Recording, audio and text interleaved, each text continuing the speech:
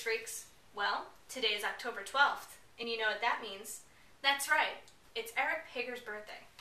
Eric is the creator of Toxic Toons and its corresponding website, toxictoons.com.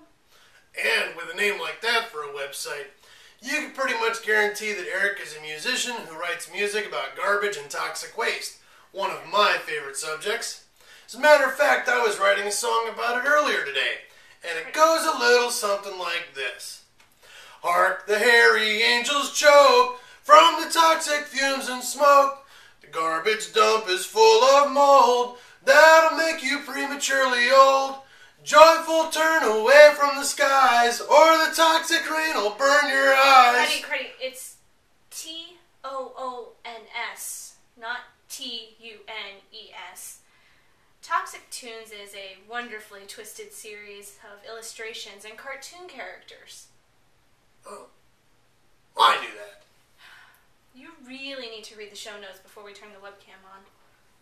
We have a webcam? Yeah, it's on top of the computer. Oh. Uh, we have a computer! uh. Happy birthday, Eric. Oh, we have beer! Hope you enjoy your day.